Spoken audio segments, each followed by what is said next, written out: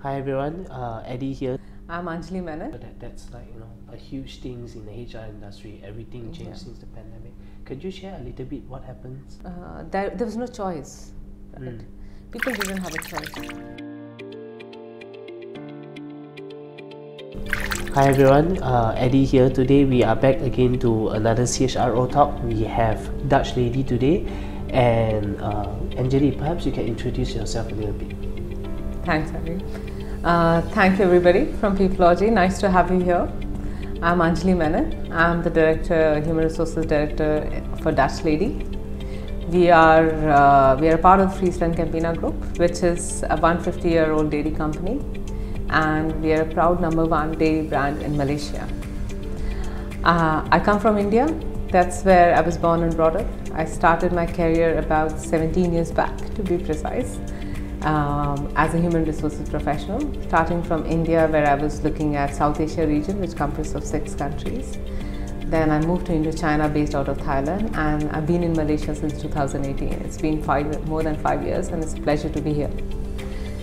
Yeah, I have a question in that regards. Uh, what made you, uh, you know, in the HR field, got you into HR field to begin with? Yeah, I'm, I'm an HR by accident, but it's been a pleasure.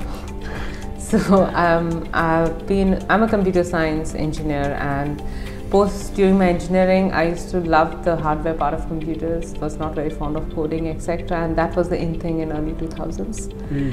And um, but what I was good at really convincing people in different ways. So I applied for a masters in both human resources and marketing, and fortunately got into one of the best institutes for human resources in India. So that's how I landed up in human resources.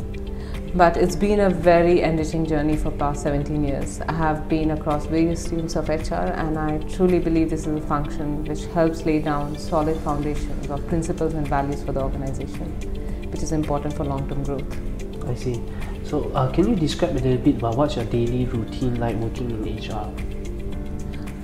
Uh, my every day is different because as a company in Dutch Lady, we are going through uh, huge degree of business transitions and transitions for good. We have a strong vision. Our purpose is nourishing the planet and people, and we want to uh, ensure that every second a product of ours is consumed by a consumer in Malaysia.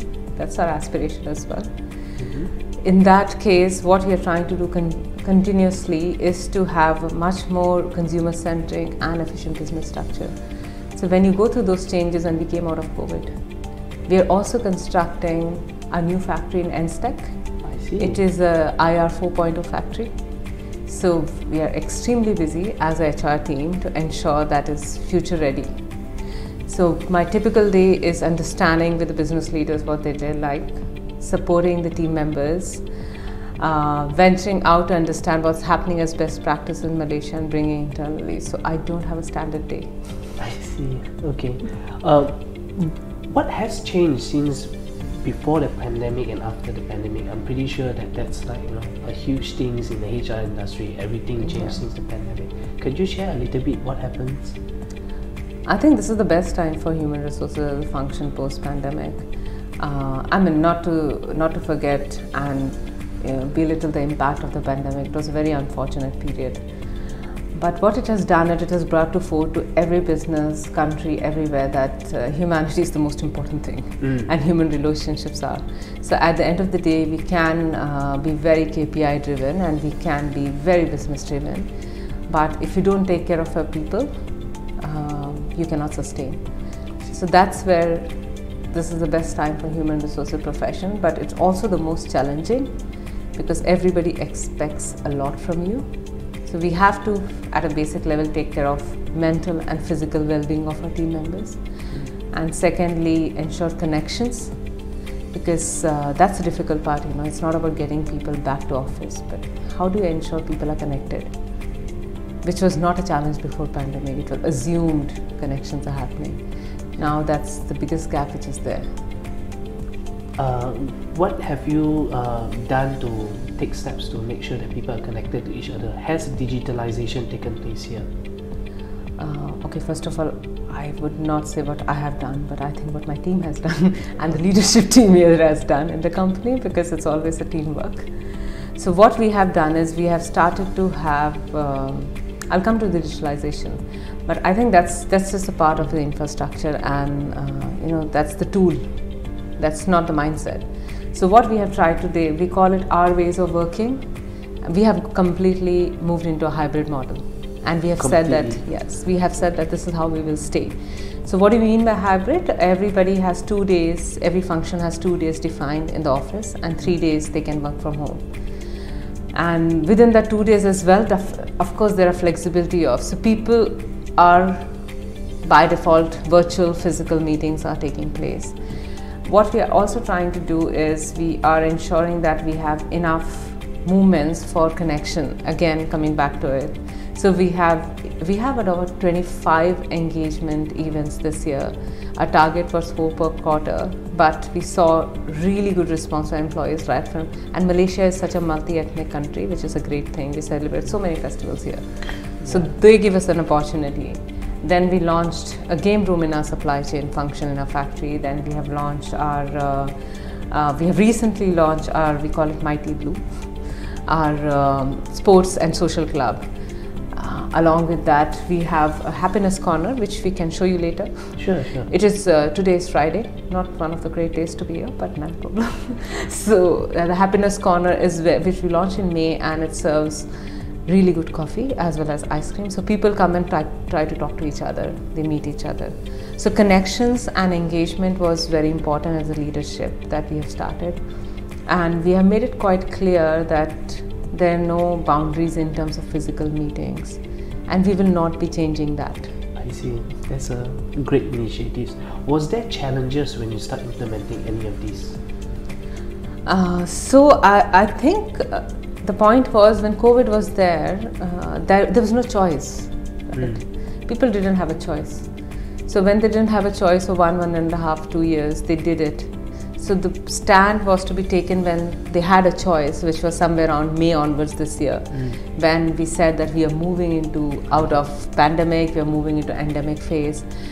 Uh, what were the challenges? Yes, there are certain preferences. Different people have diverse thinking. Some people do prefer coming to office, so we had to reach a middle ground where we ensured uh, that there are collaboration happening and we define how the ways of working will be within teams there's more empowerment to the leaders, functional head, and not only functional head, but the leaders, people managers. So it's a bit more trust based, I would say, and we would like to keep it like that. That's the intention amazing, now. Could you uh, share a little bit about uh, upskilling your workforces uh, and how would you identify great talents? Uh, upskilling uh, of the workforce, I believe, comes from uh, the business need, mm. like everything else. So our focus has been to look into very specific aspects we want to work on. For example, we have been working for past few years on coaching skills.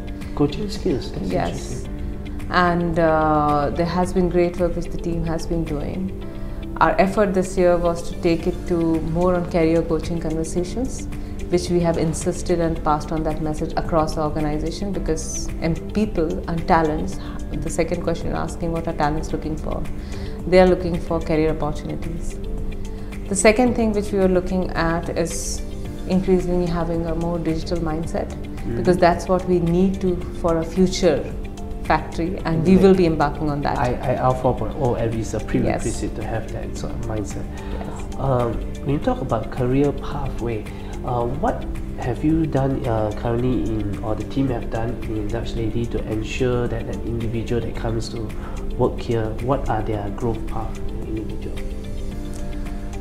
We we have started taking steps on. So what we are trying to ensure this year is line managers having the right career conversations. Mm-hmm. Because what we understand, there can be great plans on paper. First of all, putting those plans is also a task, yes. But there can be plans on paper, but people don't have that conversation. Second part is about career path. Mm-hmm. I have a different thinking in that aspect. I think the times have changed. It's about experiences, it's about career path. Oh. It's about having the right experience profile.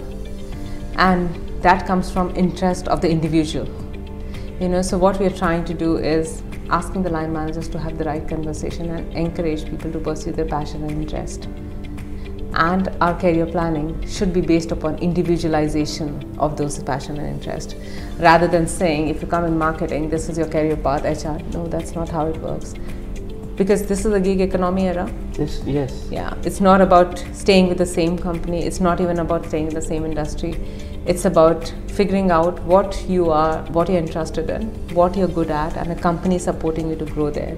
And I strongly believe in it, and that's what we are trying to do at this point. So it's highly customizable. It's not one size fits all for all departments. No, and it shouldn't be in today's era. Is my clear take, if you ask me. Okay, okay. Could you tell us a little bit about some of the culture that you have built in, in, in Dutch Lady? How is it like and some of the benefits for anybody who is interested to join uh, Dutch Lady? We have been focusing very strongly on psychological safety this year in the organization. Mental health, is it? Uh, mental health, okay, let me elaborate a little bit because I think it sounds like a buzzword most of the time. Mm. So I'll put a caveat here because, see, what we were looking at is people are coming out of COVID, which is a black swan event. And then as i mentioned we are going through we are building a new factory. We have went through a transformation of a commercial function. Mm-hmm. there's so much uncertainty and ambiguity. What people need to feel is so psychological safety we started in a very scientific way with malaysia urgent care. And we started a program in april this year. We have trained all our line managers what it means. They're able to identify their own emotional needs and address that, plus have that conversation with the team members. Why it is important? Because if you do not have the right trust in the environment, people will not take risk. And if you talk about innovation in business, innovation does not happen if there is no, no risk taking. Yeah. So we don't want to box mental health as as something which HR needs to take care. We are saying it's a business imperative because it promotes innovation, it promotes risk taking. And that is why we started with the management team. So, yes, if people, that's what we'll say. This is what, as HR team, we are trying to do create an environment where people are willing to take risks, they are able to voice their opinion and challenge the status quo. I, I love what you just mentioned it's, a, it's an entire business you need to uh, inspire growth and innovation and that leads to individual feeling safe to be able to take risks. What a wonderful uh, insights from you. Uh, thank you, Anjali, for today's uh, interview. Do you have anything last say to you know the the group about Dutch Lady or uh, anybody who might be looking for a job here? Uh, as I said, we are the number one dairy brand. We have been in Malaysia for past 59 years. Next year is the 60th anniversary, so you'll hear from us more. Mm-hmm. We have been here for 150 years globally. Uh, if, if people are looking for a career which is long term, sustainable, and an organization which has strong values and principles, this is the place to be. And we are consistently evolving. With the IR 4.0 factory, will be at the forefront of digitalization as well. So that's what we are about right now. Definitely, digital is the future. Right? Yeah. Thank you. Thank you very much. Thank you very much. Thanks.